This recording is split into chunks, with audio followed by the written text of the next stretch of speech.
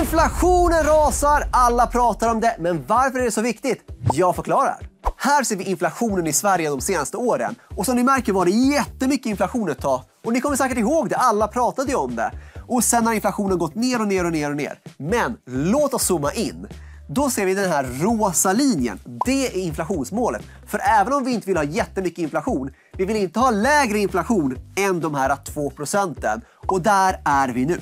Anledningen är att för låg inflation riskerar att leda till deflation och det vill vi absolut inte ha. Vill ni ska jag göra en video om just deflation, men just nu det enda ni behöver hålla koll på. För låg inflation, inte bra. För att få upp inflationen till mer behagliga nivåer, runt 2% då kan Riksbanken sänka räntan, vilket man redan har gjort och väntas fortsätta göra. Okej, okay, lägre inflation ger lägre räntor, men vad kan det innebära för börsen? Låt mig ge ett exempel. Här har vi hittat på AB. De kostar 100 kronor på börsen, de ger 10 kronor i vinst per aktie. Det är ungefär 10% avkastning. Men så har vi räntor, sparkonto, den biten.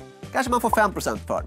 Och nu har man två val. Antingen kan jag ta någonting med mindre risk men lite lägre förväntad avkastning eller det motsatta, högre risk med högre förväntad avkastning. Och nu kommer lägre inflation, lägre räntor. Nu ändras ekvationen. Plötsligt så sjunker räntorna och det här blir inte alls lika attraktivt. Då flyttar sig jättemycket pengar in till aktier och aktiepriserna går upp och upp och upp, säg till 200 kronor nu. Ja, tills dess att vi känner att nu är även aktier lite dyra.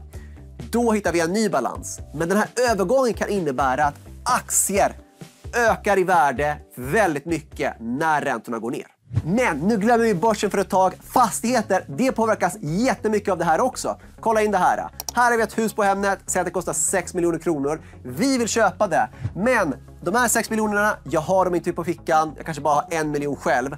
5 miljoner måste jag låna.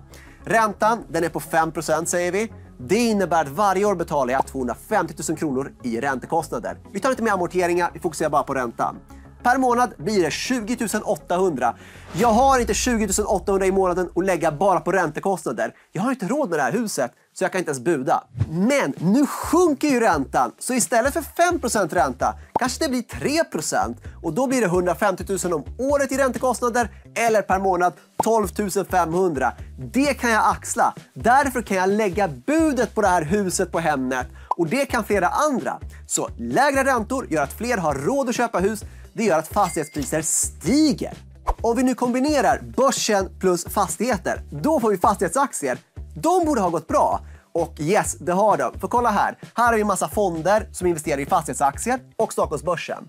Och för Stockholmsbörsen är den upp ungefär 20% på ett år. Medan de här fonderna är upp nästan det dubbla.